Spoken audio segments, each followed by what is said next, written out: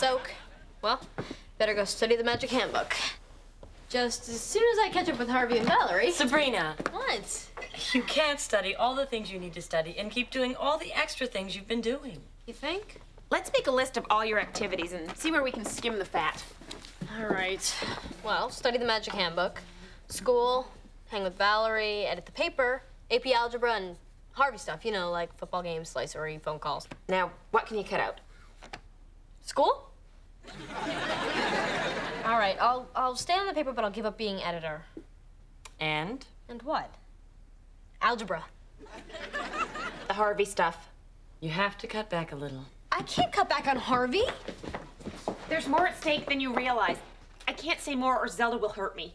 How can I cut back on Harvey now? I mean, I fell asleep on the phone. I forgot about his cookies. I, I made him the worst poster, and I left him at the school dance. A lousy girlfriend. He deserves better.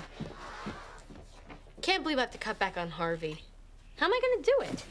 Ow. Salem, is this new? No way. Carbon date the teeth marks if you don't believe me. I can't even go to the game with him.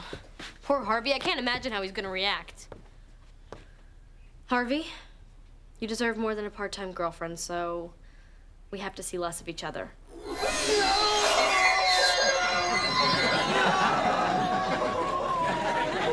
That to Harvey. I don't want to hurt him. Well, whip up a no pain spell. No pain spell. I've never heard of that. You really do need to study more. So when you dipped me and I looked in the mirrored ball, I suddenly felt so sick I had to get out of there. I bet it was those quesadillas the driver's ed teacher brought. He hasn't been the same since that sophomore ran him over. Well, we'll make up for lost time this Friday at the football game. I brought you some butterscotch pudding. Sabrina, that's so sweet. I'm gonna save it. No, eat it. Looks great, but I can't. Coach says you eat a pudding at lunch, you're a pudding on the field. I think that's bad. Have you seen the gut on that guy? What does he know? I guess one little bite won't hurt. Good, good pudding, Fizz.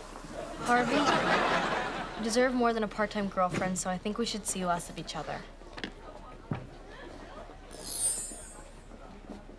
Okay. Okay, and I guess that means I won't be able to watch you not play in the game on Friday. Okay.